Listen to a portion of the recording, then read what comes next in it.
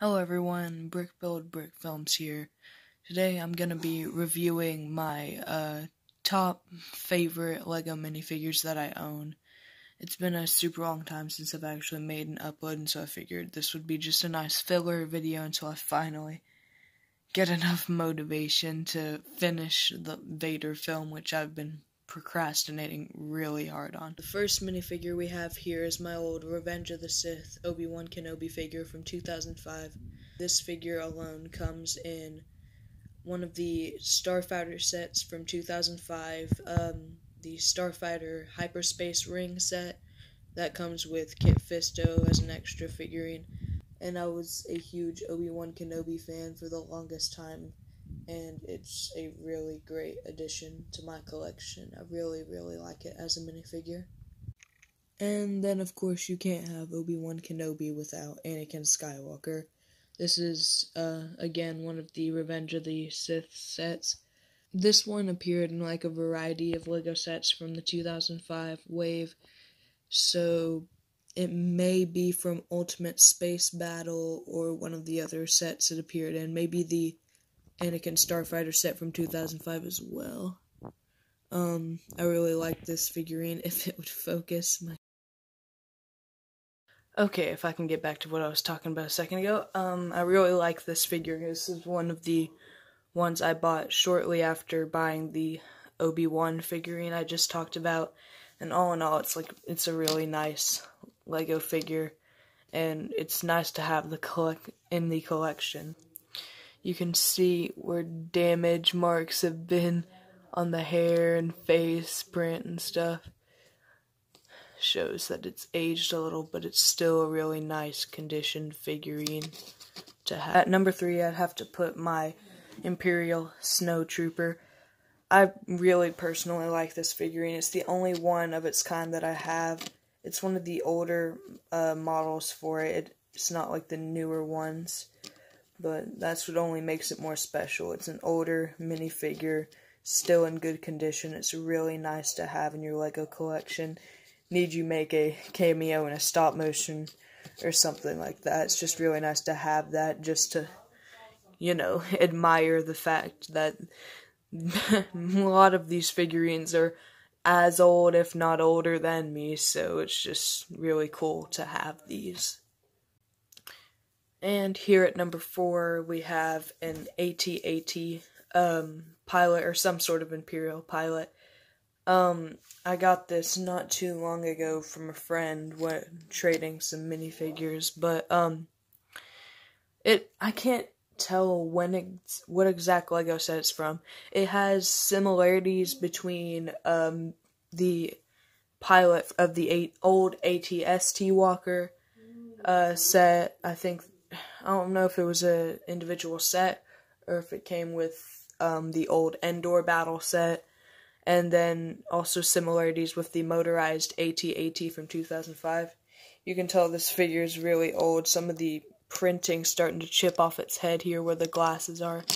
But it's still a pretty nice, sort of simple figure, but it's still pretty cool to have in your collection. You can see damage marks on the side, but it's still in somewhat good condition, and it's just pretty cool to know that you have in your collection because these are really old minifigures mostly.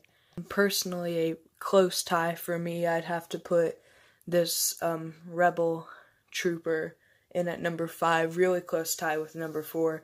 I really like this figurine a lot. Um, it's the only one of the collection I have, but I keep it. Whoops. I keep it in um, display case most of the time just because I don't want a figure like this being damaged. I know that this is, I think this figure maybe from like 2007, 2008, based on what I know, but it's really, again, super simply um, printed, but it's really just the history of these figurines because they started out so simple but really I like these kinds of figures a lot better than the modern figures. Just simple detail enough to give you that feeling of like characteristic characteristics in the minifigs and that's really all you need. And that's another great example of what makes this minifigure so great. And I know that many people would probably agree with that. And then at number six, I have my custom Star Wars Battlefront Shock Trooper. I made the uh, gun assembled out of parts with a lightsaber hilt, um, a sniper blaster, and a black minifigure hand. And then I put a chain piece going from a little wrench, I guess I, I guess I'll call that a wrench piece, um, going over to a backpack piece strapped by a little collar thing on its neck. And makes this little jump pack thing, or power backpack, I guess. I like the minifigure, prob- whoops.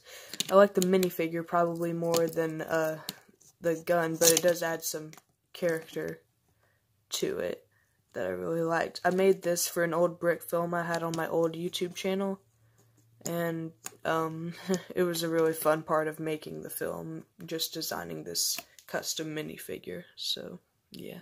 Coming in at number seven, we have um, my Jason Voorhees Lego minifig. Um, it's not exactly Lego branding, you guys would know that, but um, still in the Lego style, and I really like the way the creators of this minifig printed it. Um, the the only thing I disliked was that it came with a katana instead of a machete, but like you know, it doesn't have to stay too much attention to details and um, stay too. Doesn't have to pay too much attention to the detail. I just liked how much they put into this minifigure and how mostly accurate it is. But all in all, I really like this minifig. Even though it's not exactly Lego, it's still a really cool thing to have in my collection. Plus, it did get me a good start on YouTube, so I mean, hey. Our second to last minifigure I have on this list is the um, Lego minifigure series replica of the first ever Lego figure made, this police officer. It's kind of hard to explain what makes me like this one so much. Probably just because of the history in Lego. Lego's been a huge part of my life, and just seeing this thing, it sort of just resembles practically the father of the Lego minifigure. And to think that this little guy started off billions of Lego minifigs being made just kind of it's kind of awesome to think about. And to have my own little personal replica of this guy being so simple, but then creating much more after himself. Uh, it's just, it's just really cool.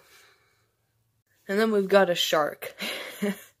um, this is one of the original Lego sharks from the old um, undersea exploration wave of Lego sets.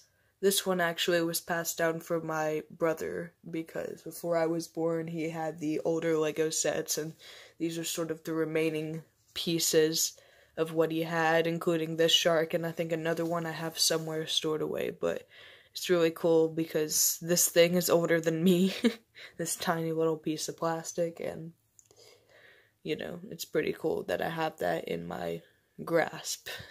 And I hope to soon do maybe a brick film with it to include it in the channel because it really is special being different than all the minifigures. Not exactly a minifigure, but it is special to me.